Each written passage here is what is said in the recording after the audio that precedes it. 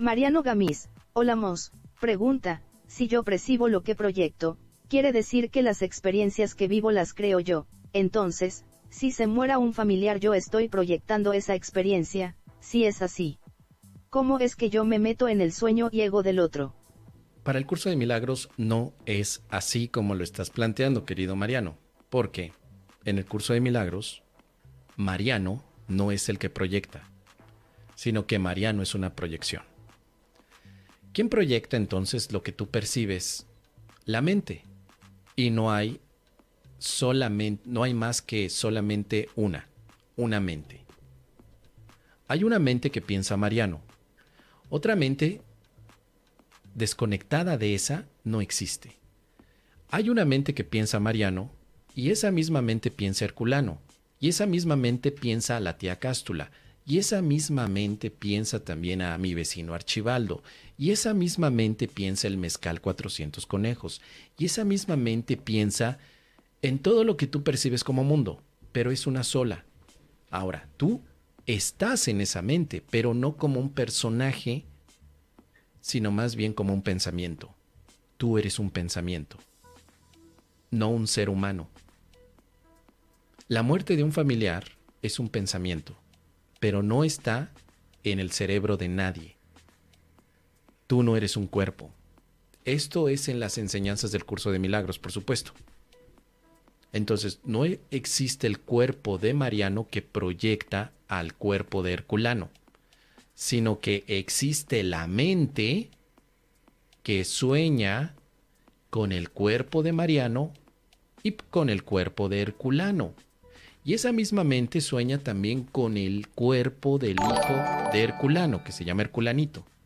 Ahí está bailando ahí, miren, ahí está el Dino. También la mente hace que el Dino se ponga a bailar. Ahí está, muy bien. Es una suscripción de nuestra querida Patricia Olivares. Si estás interesado, por favor, suscríbete, suscríbete al canal de Bolón Pimpón. Para que ahorita, en un momento más, nuestra querida Lupita nos lea o nos diga quién se suscribió. Ponte a trabajar, Lupita, por favor. Mientras explicamos esto de Bolón Pimpón. Para el curso de milagros solamente hay una mente. Déjame ver si la puedo poner aquí. Creo que tengo aquí. Sí, mira, ahí está. Fíjate nada más en esta gráfica que define el curso de milagros. En la parte de arriba donde están los dos círculos, está el círculo de Dios y el círculo de Cristo de su Hijo. Ese es el nivel de la realidad. Allí es donde existes, no como cuerpo, como un pensamiento de Dios o como el Hijo de Dios. También. Ese es un nivel puramente mental. Luego, abajito, ves una línea que dice la idea de la separación. Y vemos algo que dice the split mind, la mente dividida.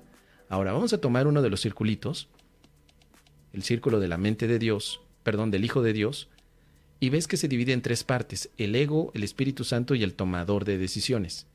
Es allí donde se proyecta, a partir de allí.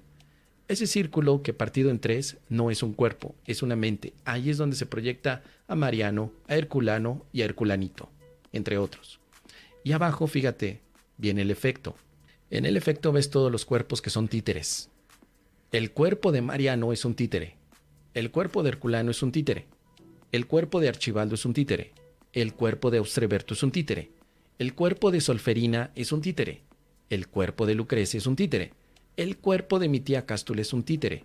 El cuerpo de mi abuelita Gervasia es un títere. El cuerpo de Mos es un títere. Los títeres no proyectan. No te puedes meter al ego del otro porque el ego no está dentro de los cuerpos. El ego es un aspecto de la mente.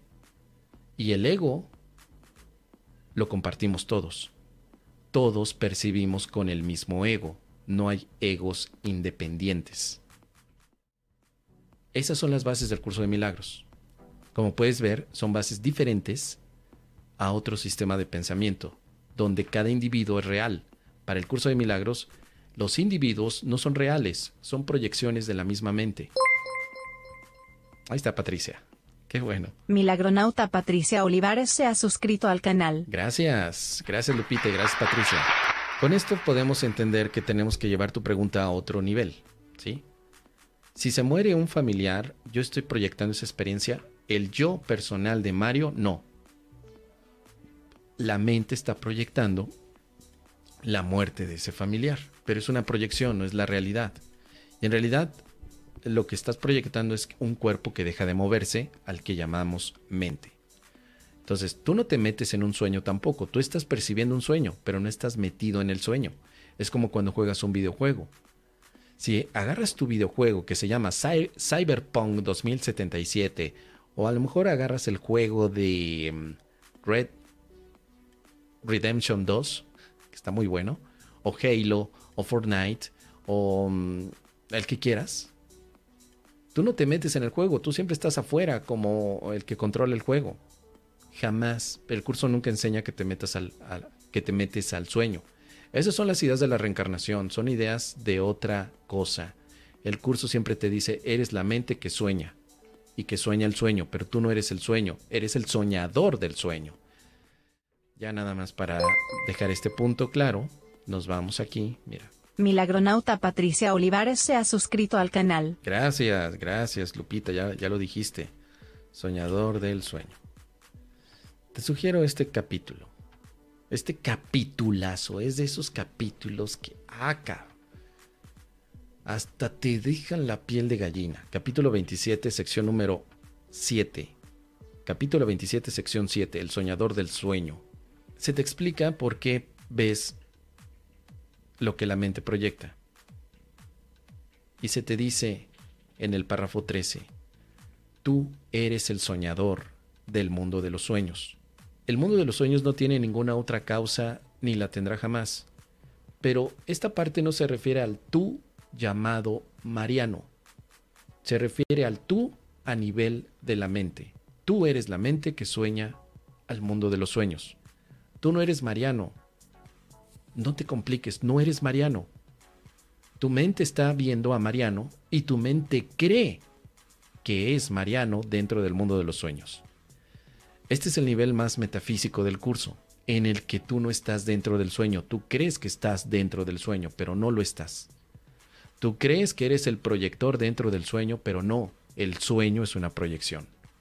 Tú eres el tomador de decisiones, como decía Kenneth Wapnick, que ha definido cómo es el sueño, pero no el tú individual marianesco, sino más bien el tú mental que no tiene nombre, o que tal vez le podemos llamar la mente del Hijo de Dios. Ahora, finalmente este aspecto te dice que afortunadamente el Espíritu Santo tiene un sueño para ti. Tú como tomador de decisiones a nivel mental puedes decidir soñar el sueño del Espíritu Santo. Y, noticias, el curso de milagros, con sus 365 ejercicios, te ayuda a pasarte al sueño del Espíritu Santo, donde hay sueños de perdón, donde no hay quién es el asesino y quién es la víctima, donde no hay muerte, donde no hay culpabilidad. El sueño del Espíritu Santo es una gozada, una pasada, como dirían mis milagronautas en España. Es una pasada el sueño del Espíritu Santo porque andas con una sonrisa, alegría, bien Agustín, te tomas tu mezcal 400 conejos, haces una broma, te, te, te ríes, te sientes libre. Sigue siendo un sueño, pero es el sueño feliz. El sueño donde el Espíritu Santo te dice, no te lo tomes tan en serio. La mente está soñando, pero ahora sueñas con el perdón. Espero que estos puntos te ayuden a discernir un poco del hacia dónde va el mensaje del curso de milagros. Recuerda, hay una mente que sueña con todos los cuerpos que ves. Por lo tanto, la decisión está a nivel mental, nunca a nivel corporal. Es lo que te puedo compartir, querido Mariano. ¿Qué te parece? Déjame tus comentarios.